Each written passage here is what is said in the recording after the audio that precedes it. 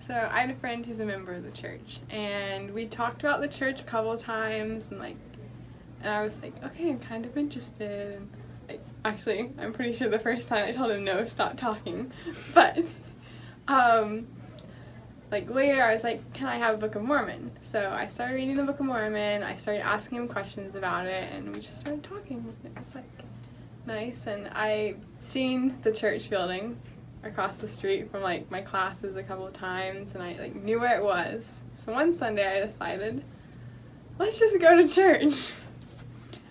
Um, it's pretty terrifying, just because I didn't know anyone. I didn't know what I was doing. I was just showing up to church one day. I stood at the um, intersection, like the crosswalk, for a while and was like, should I really go in? but I was like, yeah, we're gonna do it. So I went in and kind of tearing up and I ran into someone and I was like, I know what I'm doing, what I'm doing here. Help. Um, so she introduced me to the sister missionaries, and that's how I met the sisters. And I went to church. It was a good experience. I kept going.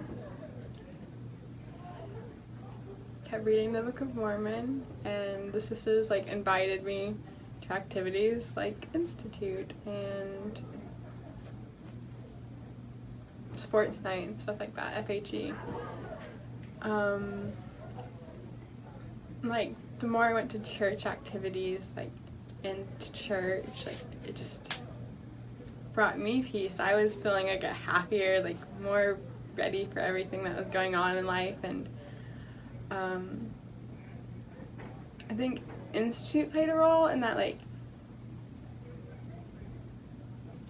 I love learning, so I always learn something new. I always like that, and it also like kind of like was uplifting, and I met new people who like I felt like I could relate to, and they were all just there's just something about them, you know, that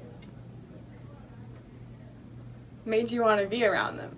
And there's something about the church and church activities that just made me want to keep coming back. And something about the book of mormon that just made me want to keep reading. And like, i know now that that's the spirit. But um, so yeah. Um, i decided i wanted to be baptized took a while but we got there and now going to institute like even if I'm like stressing about a test coming up or something like that, taking the time to like go to institute and learn and like give like and learn about Christ and learn about what the Book of Mormon teaches, what the Bible teaches, like learn about God's word. It helps bring me peace. It helps